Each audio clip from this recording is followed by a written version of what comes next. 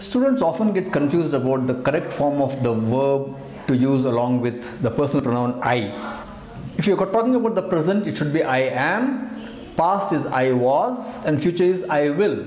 You should never use I is or I are. Those are wrong forms of the verbs along with the personal pronoun I. The second verb that many students get confused is have, H A V E have. The correct form is always I have for the present, I had for the past. Never use I has. I has is wrong. The third verb is do, do, do. Again, the correct form is I do, I don't, or I do not. Never say I does or I does not. Those would be wrong. The correct forms are I am, I was, I will, I have, I had, I do, and I don't.